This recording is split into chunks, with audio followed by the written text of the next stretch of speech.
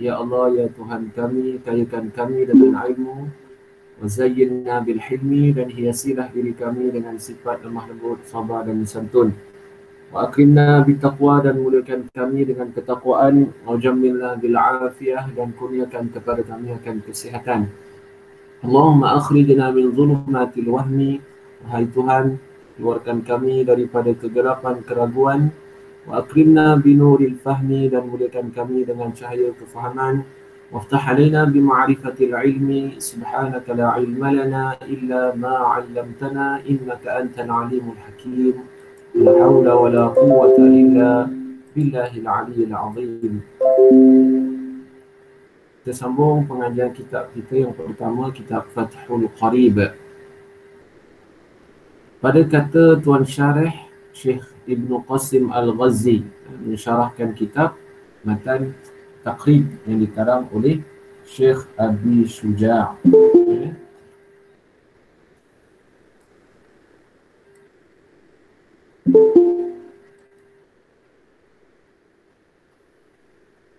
قال الشارح رحمه الله تعالى ونفعنا بعلومهم في الدارين. آمين يا رب العالمين.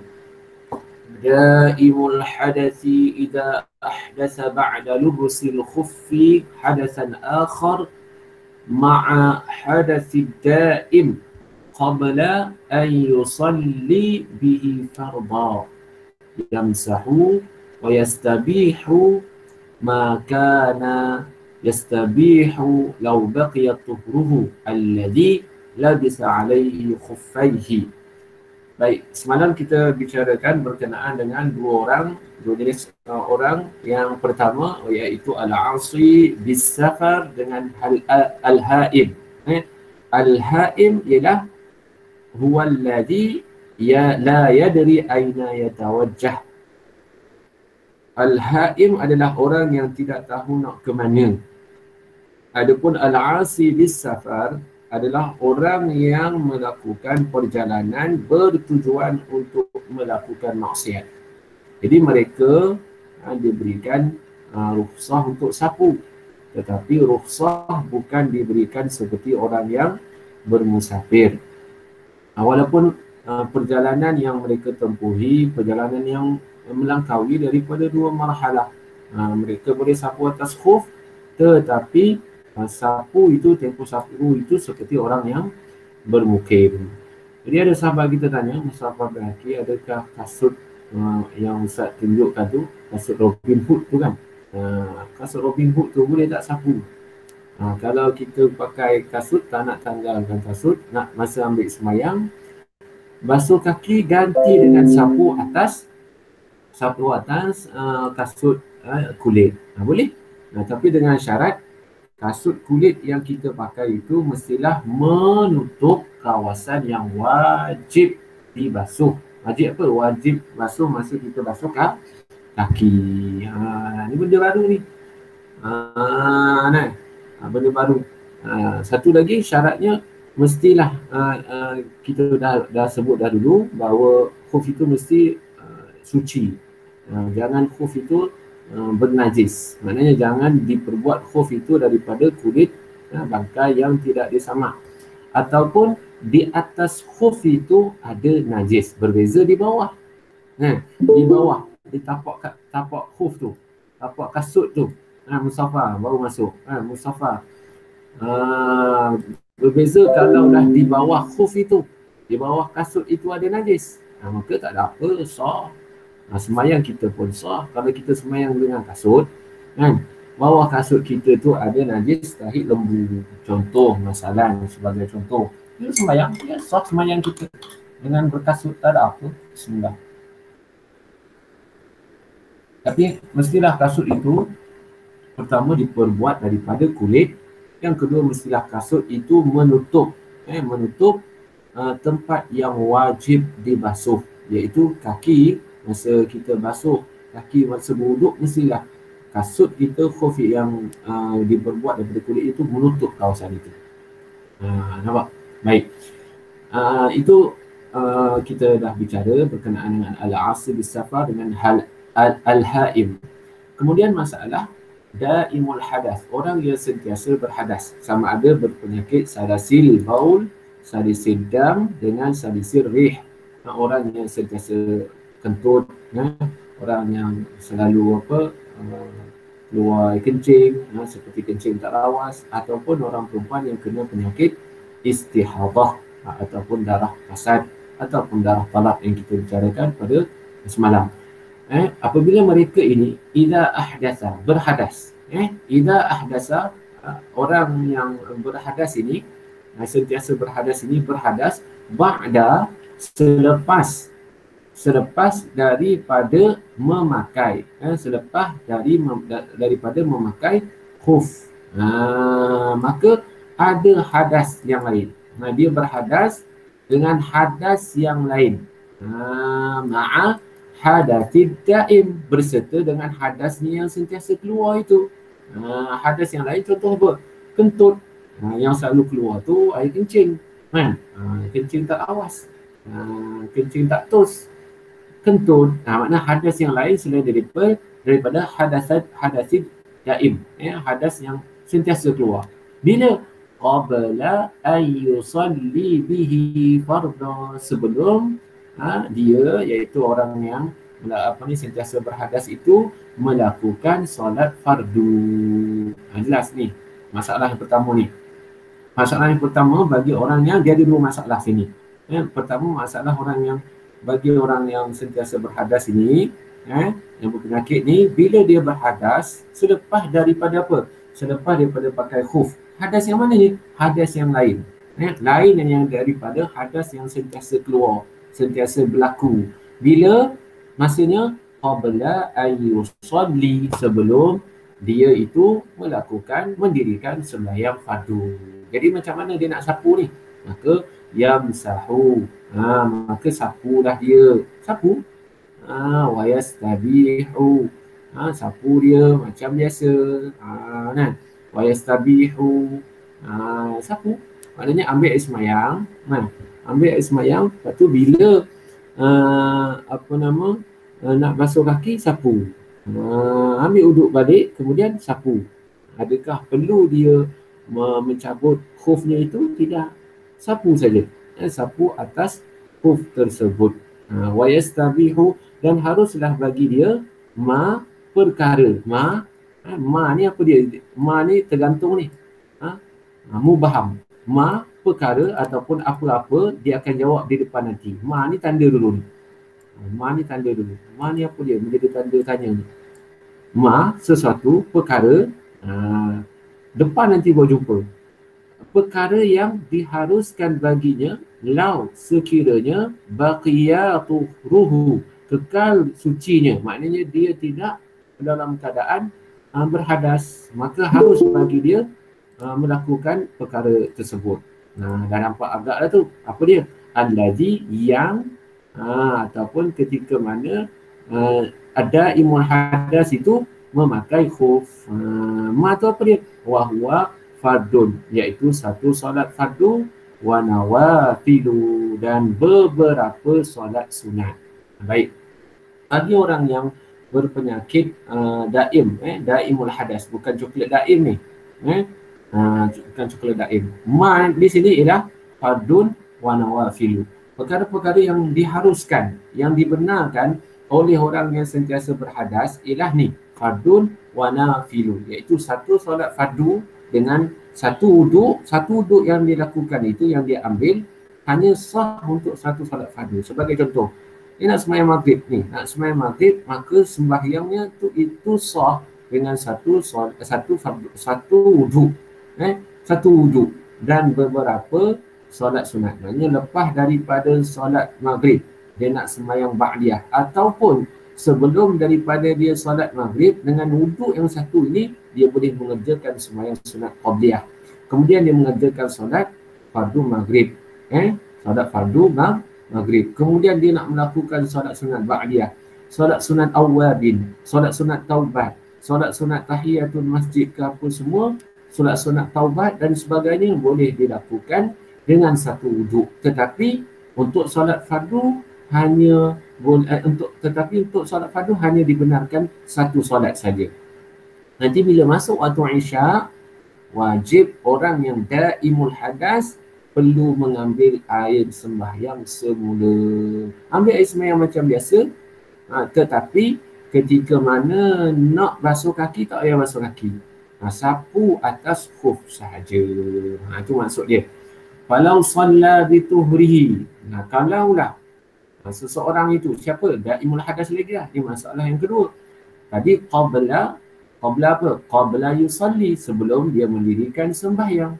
Yang ni kalaulah masalah yang kedua. Kalaulah sekiranya daimul hadas melakukan mendirikan sembahyang eh, bituhrihi dengan tuhurnya itu eh, satu solat fardu fardhan qabla an yuhdisa ha, sebelum dia berhadas mana sembahyang dulu ha, hak tadi ni Ha, dia berhadas sebelum daripada sembahyang satu fardu. Kok ni kalau salla bi tuhrihi fardhan. Eh, mana sebelum berhadas? Dah sembahyang dulu. Kemudian berhadas. Masaha. Ha, sapulah dia. Ha, sapu. Sapu macam biasa. Masaha wastabaha an-nawafila faqat. Ha, sapu balik. Okay? Ha, sapu balik. Ha, dia berhadas Kemudian sapu. Mana sapu di sini ambil semayang macam biasa lah. Ambil semayang macam biasa. Kemudian sampai tang kaki tak payah cabut khuf. Hanya sapu atas khuf. Wastabaha. Dan dia harus untuk melakukan beberapa solat sunat fakat sahaja. Tidak ha, solat fardu. Kalau dia nak melakukan solat fardu, mestilah dia mengambil air sembahyang semula. Dua keadaan. Faham? ya, dua keadaan. Tadi itu keadaan dia sebelum daripada mengerjakan semayang. Ya. Ha, situasi yang kedua selepas daripada sembahyang fardu dia berhadas maka hendaklah dia mengambil air sembahyang semula ha, dan sapu atas khuf dan harus baginya untuk sembahyang beberapa solat sunat sahaja. Bila nak sembahyang fardu, yang lain wajib ia mengambil air sembahyang semula. Ha, tu. Okey, jelas. Eh? Ada soalan boleh tanya kalau tak faham. Silakan. Eh, boleh faham eh? Tak ada soalan? Terus lagi. Baik. Kemudian im masaha syakhsu fil hadari thumma safara. Okey. Kemudian masalah yang lain masalah yang lain pula. Fa'in masaha as-sakhsu. Ha, sekiranya sapu seseorang itu. Ya, sapu apa? Sapu khuf lah. Masaha alal khufain. Sapu seseorang di atas khuf. Fil hadari. Ketika mana dia tidak musafir. Ha, fil hadari mana dia bermukim ataupun bermustautin. Kemudian, thumma safara. Dia pun bermusafir. Siapa orang yang bermukim ataupun orang yang bermustautin itu? Summa safara. Eh? Ha, ni yang pertama. Dia bermusafir. Maknanya dia berjalan. Nak pergi mana? Nak pergi Terengganu. Ha, ataupun nak pergi mana? Nak pergi Kedah. Ha, nak pergi rumah siapa? Nak pergi rumah Lukman. Lukman ada tak malam ni? Ha, Lukman? Lukman ada. Mustafa tanya, Ustaz, kalau sebelum wuduk, ambil wuduk, orang tu perlu sinjak dulu kan? Siapa? Gaimul hadas. Ha, wajib. Eh? Ha, betul. Maknanya Mustafa ingatlah tu eh, apa yang pernah Ustaz ajar dulu berkenaan dengan orang yang sentiasa berhadas ataupun dipanggil daimul hadas. Orang daimul hadas wajib beristinja dahulu sebelum mengambil air sembahyang. Adapun orang yang sihat macam kita, sunat sahaja kita beristinja. Maknanya apa? Bukan bukan istinja apa ni sunat sebenarnya. Sebenarnya qada hajat tu yang sunat. Eh qada hajat tu sunat. Ha, qada hajat sunat. Ha, bagi bagi siapa? Bagi orang yang tidak ada penyakit. Adapun orang yang uh, berpenyakit seperti daimul hadas wajib setiap kali sebelum daripada uh, mereka sembahyang fardu wajib qada hajat dulu Ya, sebab apa? Sebab mereka sentiasa berhadas. Keluar sokmo yang kencing. Keluar darah istihadah. Kentut sokmo. Kemudian baru beristinjak. Istinjak hukum, hukumnya wajib. Ha? Istinjak bukan hukumnya sunat. Istinjak semua keadaan wajib. Cuma wajib di sini kita pernah bincang dulu istinja ni mempunyai dua jenis wajib. Pertama, wajib bersegera. Yang kedua, wajib juga tetapi boleh bertangguh. Ataupun ringkasnya, wajib bertangguh. Pertama, wajib bersegera. Yang kedua, wajib bertangguh. Wajib bersegera macam mana? Cuba ingat balik. Siapa yang tak ingat boleh tanya. Ustaz tak nak uh, panjangkan. Eh, sebab pernah kita bincangkan. Siapa yang tak tahu, tak ingat boleh uh, type message eh, di tepi itu. Ustaz akan terangkan. Okey, kalau tak ada yang tanya tu maknanya semua faham lah. Eh? Baik. Kemudian uh, kita sambung balik. Fa in masaha syakhsu fil hadari thumma safara. Ini keadaan uh, isu yang lain, masalah yang lain. Sekiranya seseorang itu sapu, eh, bila ketika dia tidak musafir lah, sama ada dia bermukim ataupun bermustautin. Kemudian dia bermusafir. Eh, kemudian dia bermusafir. Nak pergi mana? Nak pergi Mak Luqman kat Kedah. Sama. Au, ataupun masalahnya masaha Masa apa? Masa syakhsu. Ha, sapu seseorang itu di atas khuf fi safari. Ada ketika dalam perjalanan. Thumma aqama. Kemudian dia bermukim. Ha, dia tengah ber, bermusafir ni. Sampai dekat uh, apa? Kedah. Hmm. Tak nak balik ah sebulan. Sebab apa tak nak balik? Sebab tak boleh balik. PKP. Tak boleh balik. Ha, yang gatal-gatal di rumah Lukman kenapa? Ha, hajatnya tak nak duduk lama, nak duduk sehari dua je. Tetapi PKP tak dibenarkan keluar bergerak daripada negeri daerah masing-masing. Dia pun qama, aqama, bermukim dia. Ha, bila? Qabla sebelum mudiyyi yaumin walaylatin. Sebelum berlalu. Mudiyyi berlalu yaumin satu hari walaylatin satu malam. Sebelum berlalu satu hari satu ma malam. Nah, maka atamma masha muqimin maka dia mestilah menyempurnakan sapuan ni cara sapu itu sempurnakan keadaan itu keadaan sama ada daripada dia ber, uh, bermusafir kepada mukim ataupun dia mukim nak musafir maka dia sempurnakan uh, dengan cara masha muqimin sapu sebagai sapuan sapu atas kuf orang yang bermukim okey hmm, tengok dulu ada nak tanya ada soalan. Okey. Seterusnya. Wal wajibu. Ha, ni cara. Eh, cara untuk sapu atas khuf. Kita tak tunjuk lagi. Ha, macam mana sapu atas khuf tu. Ha, jadi kita nak tunjuk pun kita duduk jauh-jauh. Ya. Ha, semua masing-masing dalam alam maya ni. InsyaAllah nanti kita akan tunjuk uh, demo ni. Kita akan minta uh, Mustafa ke, uh, apa, Aida ke, apa, Atirah Izani ke, kan?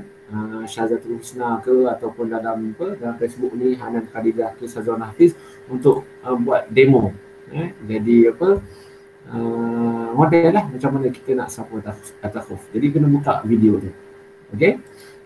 Baik tunjuk kat uh, kita orang semua. Nah tak apa kita belajar dulu macam mana. Wal wajibu perkara yang wajib eh fi pada menyapu atas khuf bukan penyapu. Sapu atas khuf itu ialah ma yutlaqu alaihi ismul mashi idza kana ala zahiril khuffi makna sapu yang dikatakan wajib sapu atas khuf ialah ma yutlaqu alaihi apa yang digunakan ataupun difahamkan daripada kata nama mashi tu eh, eh kata ma, ma, mashi tu apa dia mashi ialah sapu apabila idza kana ala zahiril khuffi Makna wajib sapu atas khuf ialah sekadar sapu atas zuhir, lapisan zuhir, khuf. Bukannya dalam. Eh, bukannya dalam. Kalau dalam tak memadai, tidak sah. Eh, kita sapu dalam, bukannya khuf yang ada di dalam. Kalau sapu dulu, uh, yang khuf yang di dalam, maknanya kita dah bicarakan dulu masalah seseorang pakai dua lapis khuf. Dia sapu bahagian dalam sah. Makna di sini lapisan dalam ni. Dia pakai satu khuf, dia sapu bahagian dalam, tak sah dia mesti sapu di luar zahir ya lapisan luar khuf atas ya atas atas ya atas nanti kita tunjuk ya uh, kawan kita akan tunjuk macam mana sapu atas khuf wala yujzi dan tidak memadai mana tidak sah. Al mashu ala batinihi. Sapu di bahagian dalamnya. Ya batin dalam dalam khuf lapisan dalam. Ya wala ala akibil khufi. Dan tidak sah sapu atas akib. Akib. Akib ni buku lali khuf. Ya, bahagian khuf tu kan uh, apa khuf ni mesti tutup buku lali sebab buku lali ni kawasan yang wajib basuh dalam masalah wuduk. Sapu bahagian dekat mana? Dekat buku lali khuf tu. Ah tidak sah. Jelas eh? dan wala ala harfihi dan tidak sah sapu atas harfihi harfihi ni maknanya tepi tepi khuf nah, sapu tepi khuf nah, tapi tidak sah wala ala asfalihi dan tidak sah sapu bawahnya bawah apa? Bawah khuf tengok. Kalau ikut logik kepala otak kita kan? Akal kita patutnya munasabah sapu ni di bawah. Eh, di bawah khuf sebab yang kotornya bawah. Atas ni atas ni kotor lah. Tetapi uh, tidak najis lah. Tidak apa orang kata uh, tidak ada kebarangkalian ataupun potensi untuk kita menginjak najis. Uh, tetapi kalau di bawah kasut kita bawah slipper kita kan uh, kita kadang-kadang terpijak najis. Uh, sepatutnya munasabahnya sesuainya sapu bawah khuf lah. Tetapi tidak sah. Kalau sapu di atas eh sapu di bawah khuf. Wala ala asfalihi. Tidak sah sapu di bawah khuf. Ha, tidak sah sapu di bawah khuf. Wasunnatu ani sunat khuf. Baik sunat khuf kita akan sebut nanti baik sekarang kita akan uh, minta sahabat kita untuk tunjukkan demo macam mana sapu atas khuf ha, dipersilakan Asyam Mustafa boleh eh? Ha, tak ada yang ni eh? Ah, Amarib. Ah, Amarib ada malam ni. Amarib dia berani dia. Nah, Amarib. Ah, Amarib ada. Sila Amarib. Tak ada. Nah, tak ada tak apa. Kita kita minta tolong kawan kita di alam maya juga. Eh? Nah, kita tengok video ni.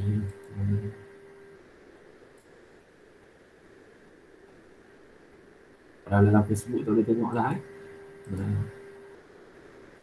Okey, mari kita saksikan. Ma yurid Allah liyaj'al 'alaykum min haraj walakin yurid liyutahhirakum ولكن يريد ليطهركم وليتم نعمته عليكم لعلكم تشكرون.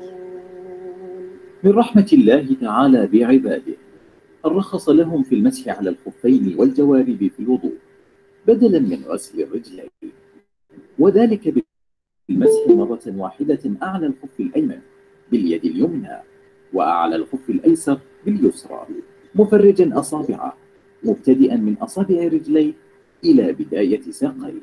يمسح على الخفين معا أو يبتدئ بالخف الأيمن ثم الأيسر. فالأمر في ذلك واسع بشرط أن يكون الخف طاهرا من النجاسة وأن يكون ساترا للقدم مع الكعبين وأن يلبسهما على وضوء كامل. ومدته يوم وليلة للمقيم وثلاثة أيام بلياليها للمسافر. يبدأ احتسابها من أول مسح بعد انتقاض الوضوء. فلو توضأ لصلاة الفجر مثلا ولبس الخفين ثم انتقض وضوءه الساعة التاسعة صباحا وتوضأ في الساعة الثانية عشرة ومسح على الخفين فيبدأ احتساب المدة من الساعة الثانية عشرة لا من الساعة التاسعة. ويكون المسح في الحدث الأصغر وأما الحدث الأكبر فيجب فيه الاغتسال الكامل. ومن خلع خفيه أو انتهت مدة المسح فوضوءه صحيح ما لم ينتقض بناقض آخر فإن أراد المسح مرة أخرى وجب عليه أن يتوضأ أولا وضوءا كاملا يغسل فيه قدميه ثم يلبس الخف ويراعي الشروط السابقة.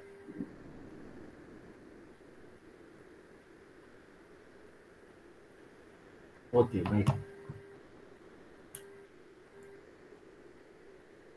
Okey, faham eh?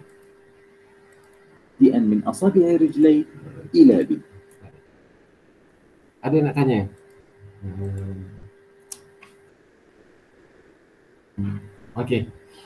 Ah, semua faham eh? Ah, wallahu a'lam. Ah, kita masuk kitab yang kedua pula. Kitab Risalatul Tauhid.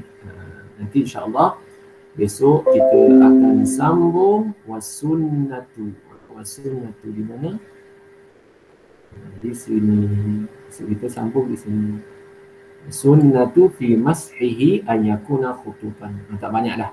kita akan sambung nanti pertama berkenaan sunat uh, sapu sapu atas huruf kemudian perkara-perkara yang membatalkan sapu atas huruf insya-Allah uh, pada esok hari kita akan sambung baik seterusnya kita akan masuk kepada kitab yang kedua uh, boleh rehat dulu kejap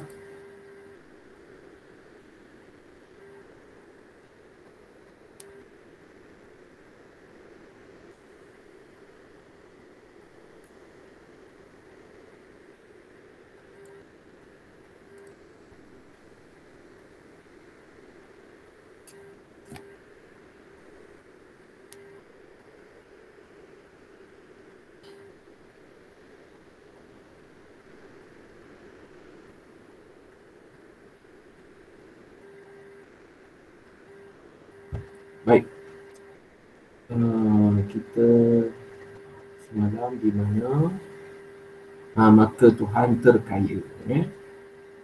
Muka surat 19. Maka Tuhan terkaya.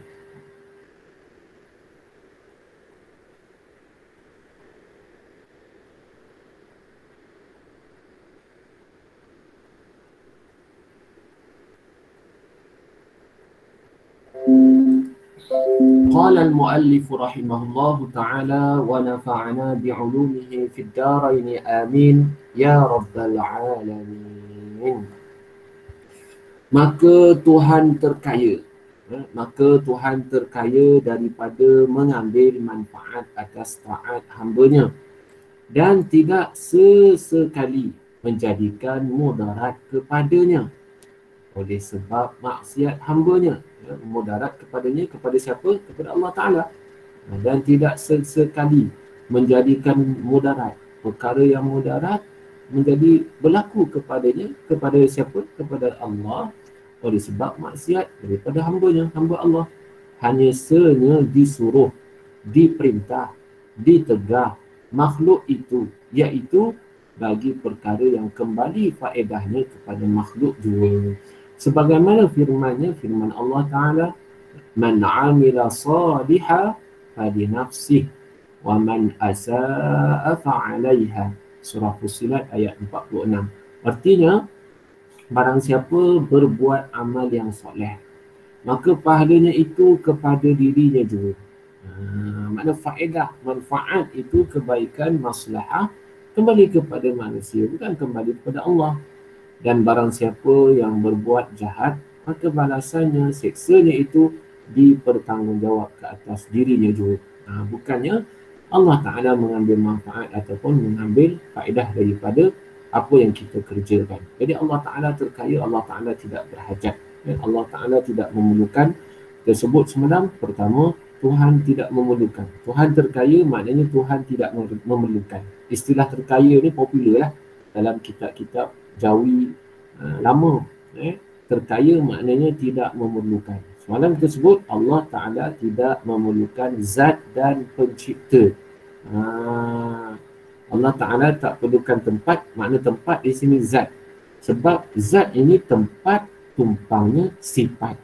Eh? Zat, tempat, tumpangnya sifat. Sebab tu dia kata tidak berhajat pada tempat. Tuhan tidak berhajat kepada zat yang lain. Tidak berhajat kepada pencipta. Eh? Ha, itu yang pertama. Yang kedua, Tuhan tidak memerlukan eh? uh, tidak memerlukan uh, zat tetapi uh, apa uh, yang yang yang kedua yang kita sebut uh, ni pada malam ni Tuhan tidak memerlukan manfaat manfaat apa dia daripada ketaatan hamba uh, dan Tuhan tidak sesekali uh, mudarat disebabkan maksiat eh, yang dikerjakan oleh ham, hamba. Itu yang kedua. Baik. Kemudian dan lagi firman yang firman Allah Ta'ala. In ahsantum ahsantum li anfusikum wa in asatum falaha. Surah Isra.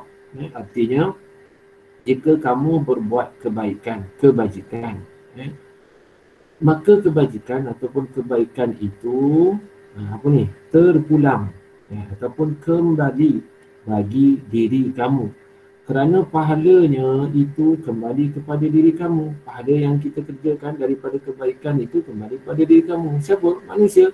Dan jika kamu berbuat jahat, melakukan satu maksiat, maka kejahatan itu terpulang kembali kepada diri kamu manusia sendiri. Kerana dosanya kembali kepada diri kamu juga. Maka kata Syekh, Syekh apa ni? Kalau dalam kitab awak, dia tulis apa? Syekh apa? Tak terang. Hmm.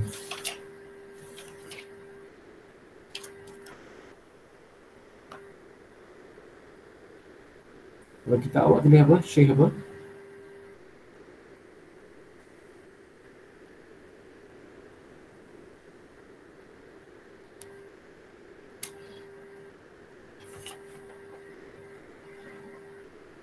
Syekh Suhaimi. Tak jelas kat sini kata Syekh Suhaimi rahimahullahu ta'ala hmm, tak jelas juga. Adalah segala yang maujudat itu dengan nisbah berkehendak kepada tempat. Hmm. segala yang maujudat itu ha, dengan nisbah berkehendak kepada tempat. Dan kepada yang menjadikan dia itu terbahagi kepada empat bahagian. Kita baca dulu. Pertama, terkaya yang ini tidak berhajat, tidak memerlukan daripada tempat berdiri dan daripada yang menjadikan dia iaitu zat Allah Ta'ala. Kedua, berkehendak kepada tempat berdiri dan ya, berkehendak kepada tempat berdiri dan kepada yang menjadikan dia iaitu segala awal. Dua, Tiga, terkaya yang ini tidak berhajat, tidak memerlukan daripada zat tempat berdiri tetapi berkehendak kepada yang menjadikan dia iaitu segala jirim. Nampak tak? Keempat, terkaya daripada mana tidak berhajat, tidak memerlukan daripada yang menjadikan dia dan berdiri ia pada zat iaitu sifat Allah Subhanahu wa taala. Ada empat eh, daripada uh, maksud yang dikatakan apa yang disebut sebagai uh, apa kata Syekh Suhaimi rahimahullah taala segala yang maujudat. Apa makna yang maujudat? Makna maujudat adalah perkara yang ada. Ya, perkara yang wujud itu makna maujudat. Makna maujudat perkara yang ada, perkara yang wujud. Ya, perkara yang ada, perkara yang wujud. Bila kata perkara itu ada, dia amrun wujudilah. Perkara yang ada, perkara yang ada dan sungguh. Dengan nisbah apa berkehendak kepada tempat dan kepada yang menjadikan dia itu terbahagi kepada empat bahagian. Ada empat. Kalau kita sebut perkara yang ada ini ada empat bahagian. Pertama terkaya mana tidak berhajat, tidak memerlukan daripada tempat berdiri dan daripada menjadikan dia ha, tidak memerlukan ha, ada yang menjadikan dia. Siapa? Iaitu zat Allah Subhanahu wa taala. Zat Allah taala tidak berhajat kepada zat yang lain eh, untuk menumpang. Makna tempat berdiri di sini adalah zat. Sebab zat ni adalah tempat menumpang. Ha? Zat tempat menumpang sifat. Allah Ta'ala bukan sifat. Allah Ta'ala adalah zat. Zat yang tidak memerlukan zat yang lain. Tidak memerlukan tempat berdiri. Eh? Dan tidak berhajat kepada Tuhan yang menciptakan dia. Ada benda lain yang menciptakan dia. Kalau ada benda lain yang menciptakan dia, itu bukan Tuhan. Ha, kita tak boleh kata Allah. Ha, Ha, dengar tak semalam Pakcik Wan Hizam kata apa tentang Allah tu. Ha, cuba ulas sikit seorang malam insyaAllah nanti eh. Yang kedua, itu bahagian yang pertama. Bahagian pertama, Allah itu ada, ada Allah Ta'ala tidak berhajat kepada tempat berdiri. Mana tidak berhajat kepada tempat berdiri, tidak berhajat kepada mana-mana zat, mana-mana diri. Dan tidak berhajat kepada perlunya pencipta untuk menciptakan diri. Ha, nah. Yang kedua, berkehendak apa ni benda yang ada itu yang ada sesuatu yang maujudat itu berkehendak kepada tempat berdiri dan kepada yang menjadikan dia iaitu segala arat. Arat ni adalah sifat jirim. Jadi sifat jirim memerlukan tempat berdiri, tempat menumpang. Di mana? Di jirim. Kan? Warna hijau pada lada Ustaz sebut semalam. Dia nak menumpang mesti pada jirim lada. Dia tak boleh hijau itu terbang, melayang-layang, tak ada. Ha, kalau kita jumpa tengah malam kan Ustaz sebut ah, putih ah, kita tahu kenapa kita lari sebab apa kita tahu ada hantu hantu tu jirim Faham tak? Ha, kalau kita tak, tak kita rasa itu bukan hantu, kita tak lari. Kita lari tu sebab apa? Hantu. Hantu tu apa? Jirim. Bila jirim ni, apa dia? Bukan Tuhan. Uh, hantu pun pelik, kita tak takut. Kenapa kau tak tahu? Engkau bukan Tuhan. Aku tak takut selain pada Tuhan. Engkau jirim. Ha, jaga itu. Oh, alim kau belajar. Belajar yang tauhid. Sampai boleh kenal. Jirim. Eh? Jirim, Arab dan sebagainya. Jadi Arab ni dia berkehendak. Dia memerlukan kepada tempat berdiri dan dia berhajat kepada yang menjadikan dia. Siapa yang menjadikan arat? Allah. Allah menjadikan arat. Uh, atas, bawah, kiri, kanan. Uh, apa lagi?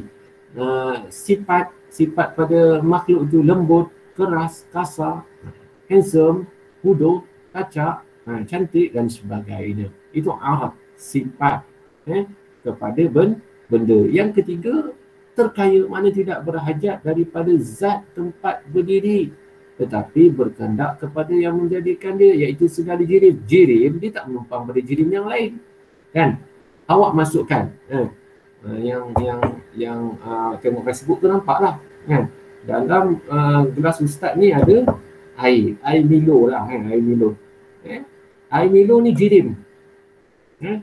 Kita masuk kita masukkan sudu. Sudu ni jirim masukkan jirim sudu ke dalam air adakah ianya bersatu adakah apa ni uh, sudu ini menumpang pada air tak uh, dia tak menumpang ha dia tak menumpang dia dengan zat dia je kalaulah kita bekukan eh, kita bekukan uh, apa air tu air yang ada dalam gelas ustaz maka kita cabut balik ni cabut balik sudu ni maka dia ada ruang tinggal ruang ruang tu lain katakan sudu ini tidak berhajat kepada jirim, jirim air. Jirim sudu tidak berhajat kepada jirim air. Maknanya dia tidak menumpang. Dia tidak apa ni uh, duduk sama-sama. Dia asing-asing. Uh, berasingan. Uh, nampak tak? Faham tak tu? Tak jelas juga. Yang tak, tak jelas bahagian mana tu?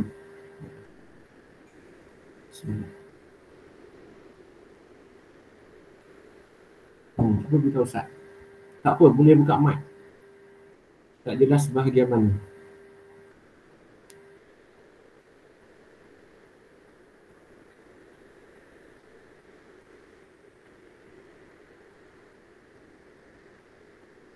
Ha, sila.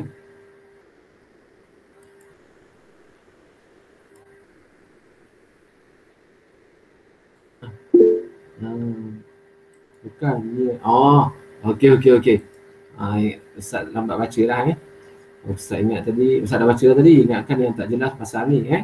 Ah, senang je awak dah belajar kan. Tak susah pun. Jirim ni. Jirim tidak menumpang pada jirim yang dah lain. Eh? Ah, kita ni kalau kita pastikan betul-betul, kita ni pun kita tak menumpang pada uh, apa ruang yang lain. Ruang kita tu ruang kita. Maknanya kalaulah Allah Ta'ala zahirkan eh, kita ni boleh nampak ni apa yang ada di sekeliling kita ni. Terkepit kita ni. Terkepit muka-muka kita ni. Semua ni ditutup dengan ruang-ruang yang lain. Eh, ada ruang-ruang yang lain. Ha. Kita ambil ruang. Kita ambil lapang. Kita ni jirim. Eh, jirim yang mengambil lapang. Jirim yang mana? Jisim. Eh, jisim. Satu lagi jauh. Jauhar. Ingat lagi tak? Jirim terbagi kepada dua. Jauhar dan jisim dan keempat terkaya daripada yang menjadikan dia. Ha, dan berdiri ia makna menumpang ia pada zat iaitu apa? Sifat Allah Taala. Sifat kudrah Allah Taala sifat wujud Allah Taala. Tidak ada yang menciptakan ha, ada orang tanya ni teka-teki malam ni? Apa jawab? Apa jawab terror tak? Boleh tak? Ha, Allah Taala ciptakan sifat dia Jawapan ada dah sini terkaya maknanya sifat itu tidak ada yang menjadikan ha, dia. Dan sifat Allah tidak ada yang menjadikan. Ha, itu jawab dah. Tapi cuba jawab dari sudut logik. Ha, kan? Jawab dari sudut logik lah. Eh? Boleh tak Allah Ta'ala cipta sifat dia? Ha, eh? Nampak? Faham tak? Soalan? Nanti teki Ha, cari jawapan dia. Kerja rumah. Eh? Terkaya daripada yang menjadikan dia dan berdiri ia ia apa sifat pada zat iaitu sifat Allah Subhanahu wa taala Ya, segala sifat Allah Ta'ala tidak ada yang menjadikan dia. Tak boleh kita kata oh, Tuhan menciptakan sifat dia, tak boleh. Ya? Hmm, tapi kenapa? Uh, cuba fikir. Boleh tak jawab secara logik? Eh? Baik. Uh, habis itu berkenaan dengan uh, sifat uh, qiyamuhu ta'ala binafsihi sifat yang kelima daripada 20 sifat. Uh, nanti kita nak masuk uh, sifat yang keenam. Kita nak masuk terus ke? Ataupun kita berhenti kejap. Kalau ada soalan bila uh, apa ni? Bila ada soalan kita berhenti kejap. Boleh berhenti boleh bertanya silakan. Hmm. saya nak tanya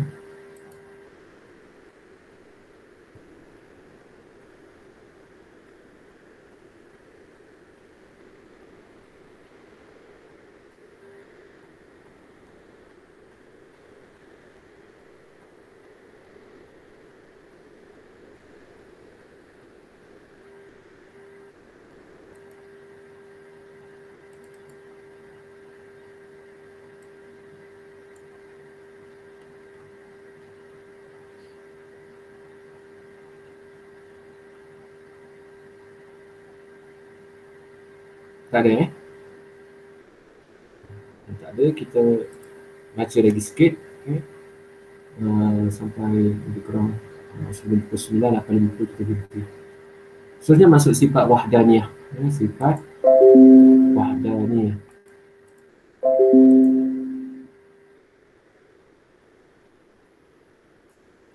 Yang keenam daripada 20 sifat yang wajib diketahui secara tafsiri iaitu al-wahdaniyatu. Apa makna al-wahdaniyah?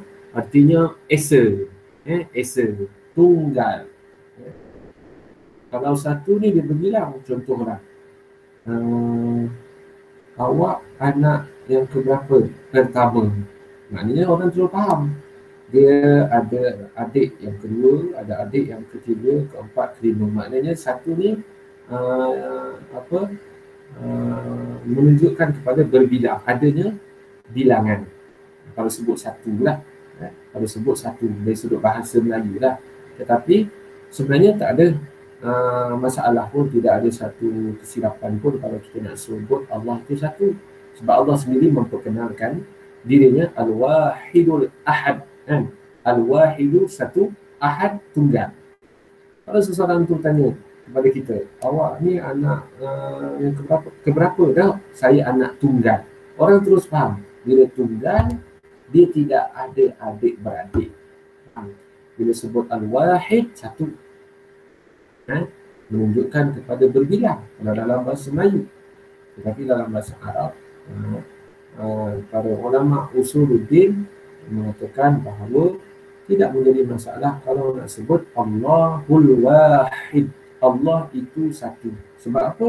Sebab memang Allah Ta'ala memperkenalkan diri dia Al-Wahidu. Eh? Yang kedua uh, apa uh, uh, esa. Esa ni wahdah.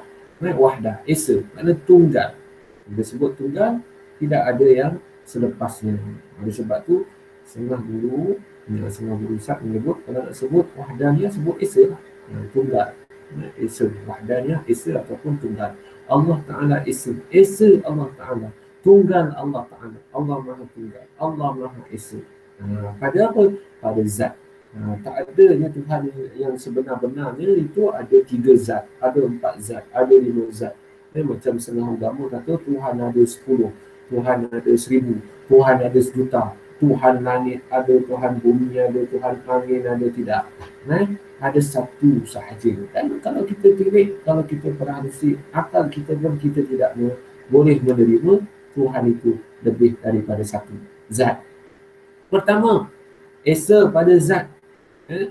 Tidak ada dua, tidak ada tiga. Yang kedua, esa pada sifat. Eh, esa pada sifat.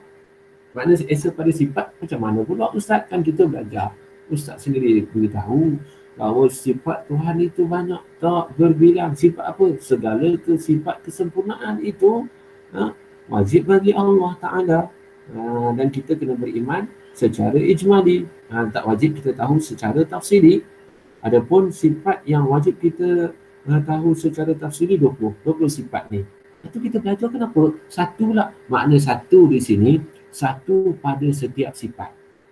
Ah. Satu pada setiap sifat. Maknanya sifat kudrah tu satu. Ah, sifat wujud tu satu. Ah, sifat kidam tu satu. Semua satu. Tidak ada sifat kudrah dua. Eh? Sifat hayah dua.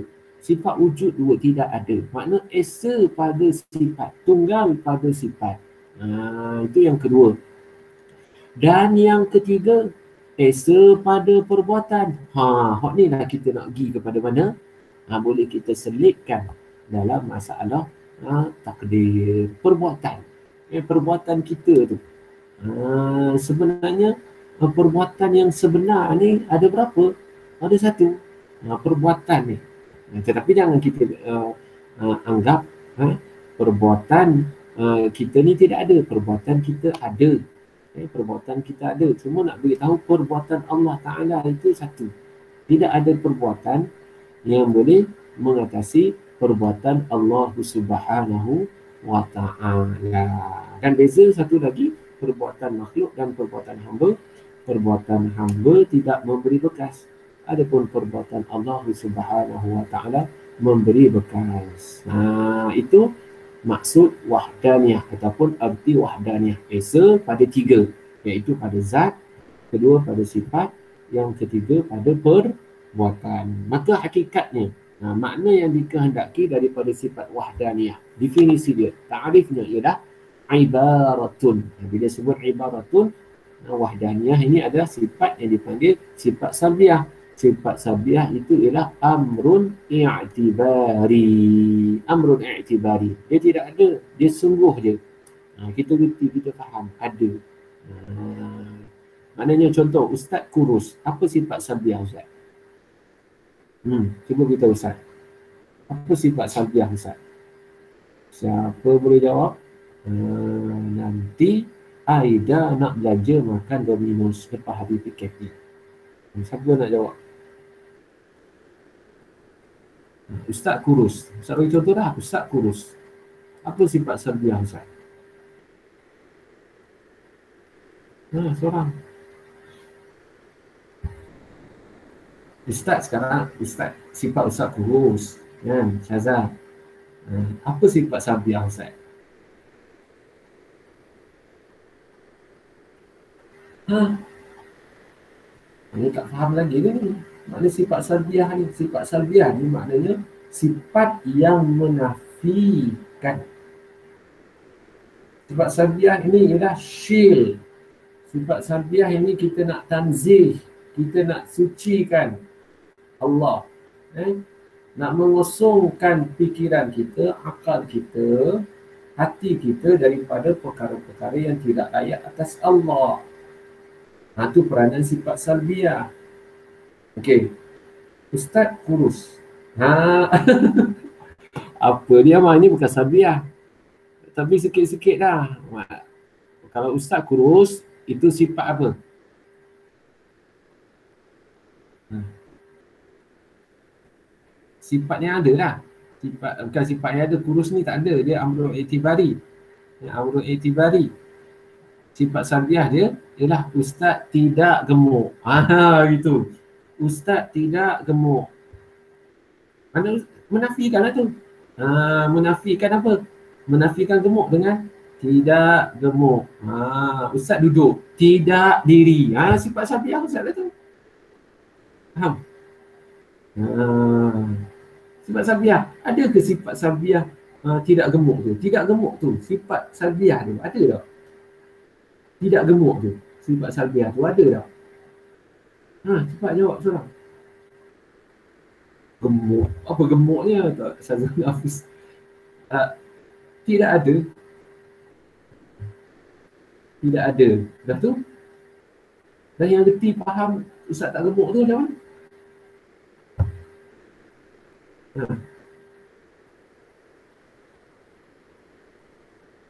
Kira kita sungguh je amrul itibari lah. Tidak gemuk tu sifat. Tetapi dia panggil amrul itibari sifat sabiah ustaz. Faham? Ha, ustaz duduk. Ha, sifat ustaz sekarang ustaz tengah duduk. Ha, sifat salbiahnya tidak diri, tidak berdiri. Ha, tidak berdiri itu adalah sifat salbiah. Boleh ni? Faham eh? Siapa tak faham kita? Ha, faham, Alhamdulillah. Ha, begitulah. Mana wahdaniyah. Ha, esa tu, esa tu amrul i'tibari. Ha, faham tak? Dia bukan amrul wujudi tetapi amrul i'tibari. Ha, jangan awak uh, apa ni gata-gata pula cakap oh, Tuhan tidak ada sifat wahdaniyah. Jangan. Itu tak betul tu. Pura, apa ni cara mengajar macam tu tak betul. Uh, Tuhan tidak ada sifat wahdaniyah. Ai mana pula? Tuhan bagi Tuhan. Tuhan ada sifat wahdaniyah. Uh, tapi sifat wahdaniyah ni pesen macam mana? Nah, teranglah mana. Uh, tapi nak terang pun jangan terang pada budak-budak tadika. Nah, tenanglah pada orang mengikut apa yang mampu dia capai. Sekarang ni Ustaz bicara pada awak kerana Ustaz percaya akal awak, kemahiran berfikir awak sudah sesuai untuk mencapai apa yang kita bincangkan. Nah, jadi cara kita nak menyampaikan pula kepada orang lain, kena fikirlah. Kena berhikmah. Bukan semua perkara yang kita tahu wajib kita bagi tahu. Wajib tetap wajib bagi tahu tetapi tidak wajib bagi tahu segera ha, ataupun wajib segera bagi tahu. Bergantung kepada keadaan. Itulah namanya hikmah. Hikmah ni bukan kita tahu itu satu kebenaran tapi kita gomong ni tak. Hikmah ni bijaksana. Eh ud'u ila sabili rabbika bil hikmati wal mau'izatil hasanah ha, itu namanya hikmah eh alamak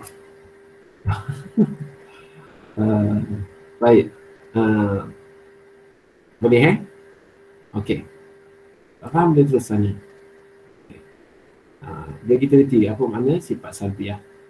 Dia uh, sungguh dia. Dia bukan ada. Dia bukan amrun. Amrun wujudi. Tetapi amrun i'tibari. Okey. Seterusnya. Sambung lagi.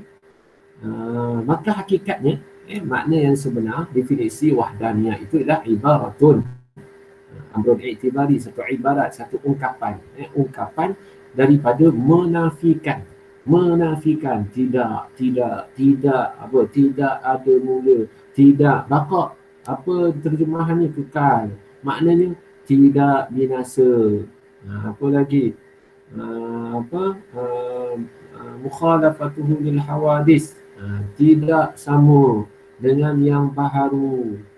Uh, wahdaniyah tidak berbilang. Uh, kalau terjemahan wahdaniyah, esa tunggal. Uh, tetapi makna yang dikehendaki ialah menafikan. Tidak berbilang. Menafikan berbilang. Iaitu menafikan kamiyatun. Apa makna kam? Kita sebut kam. Kam, kam ni maknanya apa? Berbilang. Uh, kebilangan. Itu makna kamiyah. Ejaan sebenarnya kamiyatun. Tapi kita sebut kam, kam. Sebenarnya kamiyatun. Mana kamiyatun? Berbilang. Eh, berbilang. Menunjukkan kepada kuantiti. Kamiyatun. Bukan kimia. Kimia, ilmu kimia ni kamiyatun. Kamiyatun ialah menunjukkan kepada kuantiti. Kuantiti. Nah, itu berbilang. Menafikan berbilang pada zat, berbilang pada sifat, dan berbilang pada perbuatan. Ha, sebenarnya perbuatan yang hakikat perbuatan ada berapa? Maksudnya perbuatan yang sebenar ada berapa? Ha. Hakikat sebenar perbuatan ada berapa? Apa yang awak buat sekarang? Uh, Aida Amin.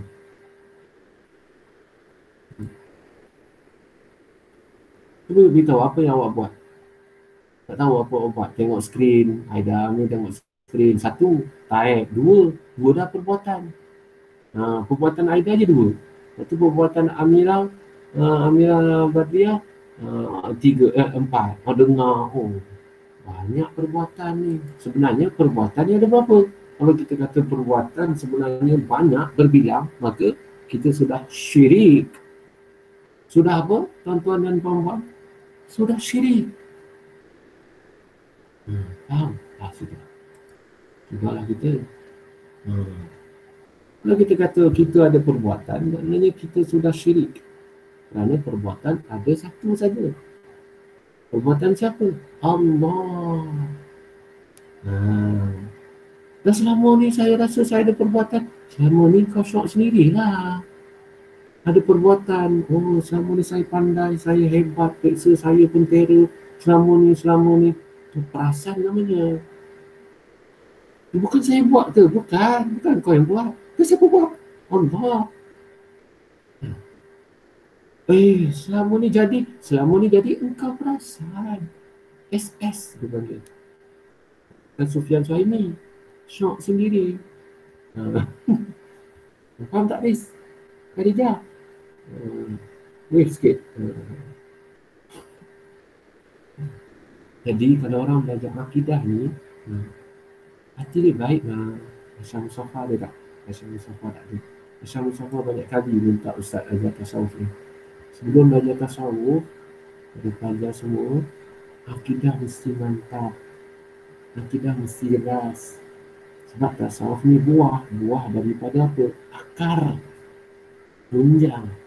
Akar tunjang itu adalah akidah tapi kalau akidah kita tidak jelas. Akidah kita tengok kelak tadi kita tak reti tak jelas tak faham macam mana kita nak dapat buah? Macam mana kita nak dapat tasawuf? Jelas tak suara ustaz? Ustaz tak nak cakap buat buat. Takut anak ustaz tak bangun. Hmm. Ustaz besi. Tak jelas tak dengar suara ustaz? Jelas dengar Alhamdulillah. Hmm. Kalau tak jelas bagi tahu cepat-cepat. Takut ustaz nanti SS. Ustaz shock sendiri. Hmm. Okey sekali lagi ustaz nak beritahu awak. Zat ada satu Allah. Right. Sifat ada satu sifat-sifat Allah. Perbuatan perbuatan Allah sahaja ada. Ah, itu kita tak ada. Kita ni bukan hakiki. Kita ni majazi. Ada kita umpama bayang-bayang di lautan. Ya? Kita naik kapal kan? Ada orang tasawuf cakap naik kapal depan ada bayang-bayang agak-agak bayang-bayang itu akan dapat menghalang tak kapal Titanic itu? Tidak. Yang menghalang kapal Titanic akhirnya karam ialah iceberg.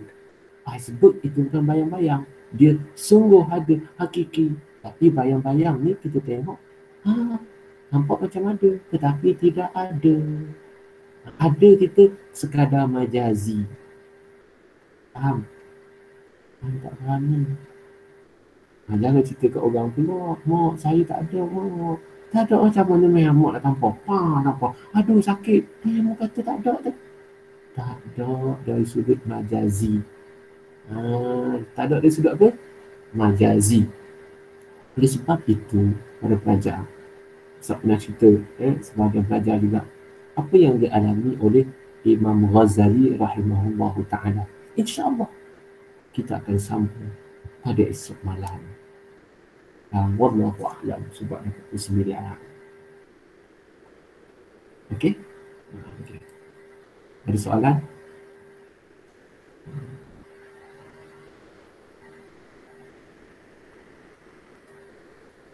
Ada kawan kita tanya. Ni saya buat ulasan tentang video Ustaz bagi tu. Nama Allah itu sekadar nama, bukan nama. Allah itu Tuhan. Kalau kita anggap tulisan itu Allah, Maka jika kita gantungkan nama itu, maka kita bilang nama yang digantung itu Allah, seolah-olah itu Tuhan. Iaitu yang bergantung pada diri. Jadi sahabat saya Ustaz, kalau ada kalimah Allah dalam bilik, orang kata kita kena beradab juga berhadapan dengan kalimah Allah lagi dalam bilik, itu macam mana pula? Ya Ustaz. Hmm. Ayo, tanya balik. Ha. Okey, tak ada eh. Baik. So berkenaan dengan uh, nama sebenarnya tak perlu ada isu eh? tak timbul isu pun tak timbul polemik pun kalau kita faham. Tuhan sendiri mengajar kita di antara cara kita mengenal Allah ialah mengenal namanya yang 99 nama. Uh, kalau kita hormat bukan bererti kita sembah nama tu. Kita hormat nama bukan bererti kita sembah nama. Uh, kita hormat nama uh, nama mak awak, nama ayah awak. Ada. Ada awak nak bijak. Nama mak ayah, nama mak awak contoh uh, Beda binti Muhammad. Awak ambil nama mak awak, awak bijak-bijak. Uh, ataupun awak letak dekat mana? Letak kat tambas. Nama mak awak. Uh, awak buat tak? Tak buat. Kenapa tak buat? Awak hormat. Apa tak lagi nama Tuhan? Bukan kita sembah nama Tuhan. Nama Allah itu nama. Nama yang uh, uh, apa pada apa? Nama bagi zat. Zat yang mana? Wajibul wujud. Tuhan suruh kita kenal dia melalui namanya. Walillahil asma'ul husna. Kalau kita tak tahu nama, macam mana kita nak kenal? Ha, mana kita kenal? Tak ada nama. Siapa tu? Oh, oh, tu, oh, tu, oh. Hmm, tak kenal siapa sudah lah. Ha, mesti ada nama. Ha, nama itu menunjukkan kepada musamma yang dinamakan. Uh, al-ismu uh, dan ya ala musamma menunjukkan kepada yang dinamakan. Uh, yang dinamakan tu zat yang dinamakan tu adalah Tuhan kita. Kita letak nama Allah di rumah kita tidak menjadi masalah. Bahkan bila kita letak nama Allah dan nama kita pula nama Allah di rumah kita kita tengok nama Allah kita ingat Allah boleh dapat pahala. Uh, kita beli pula frame kan? Ada nama Allah besar bapak ha, ataupun kita ada duit lebih kita letak dekat pagar asrama tu nama Allah besar bapak kata nama Nabi Muhammad. Masuk mahat nampak ha? bukan nampak Allah. Nampak lafzul jalalah. Oh langkah kerana masuk mahat tu ingat Allah. Hati pun ikhlas masuk mahat ni kerana Allah ha, tak ke molek molek apa nak moleknya ha, sebelah kiri tengok nama nama baginda Nabi Muhammad sallallahu alaihi wasallam. Allahumma salli Muhammad. Orang tu selawat. Ya, boleh pahala.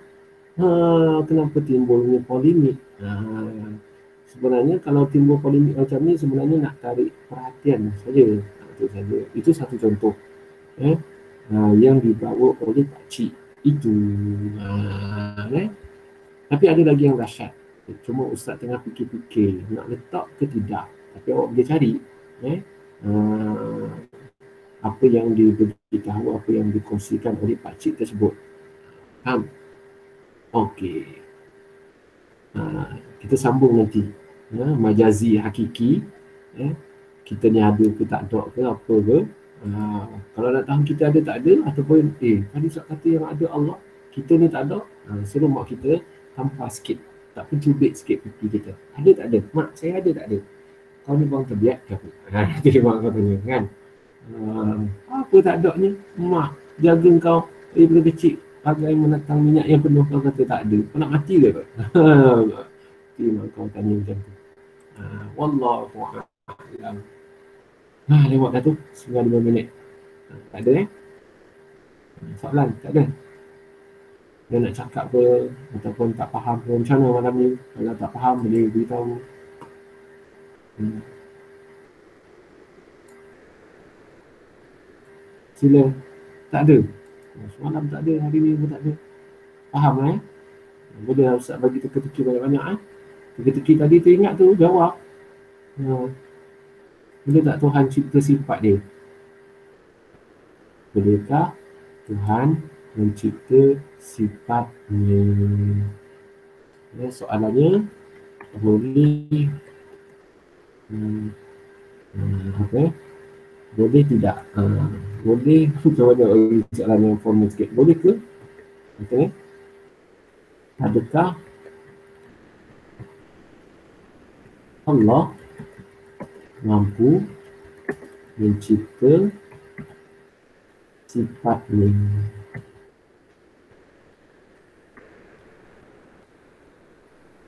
ini sifat ini Ah, tu. Sebab tak ada orang tanya, Ustaz tanya. Kan? Tak ada orang tanya Ustaz. Ustaz tanya awak. Yang ni Ustaz tak nak bagi jawapan. Awak yang bagi jawapan. Adakah Allah mampu mencipta sifatnya? Uh, Amarif terus left. Tak nak jawab. Uh, jawab. Eh? Tak jawab tak apa. Tapi disebabkan tak ada yang bertanya, jadi ustaz tanya eh, supaya eh, nampak awak faham tak faham. Sekali lagi ustaz ulang, kawan kita di Facebook ni sama, cuba cari jawapan adakah Allah mampu mencipta sifatnya sendiri. Wallahu a'lam. Hada wabillahi taufiq wal hidayah. Assalamualaikum warahmatullahi wabarakatuh.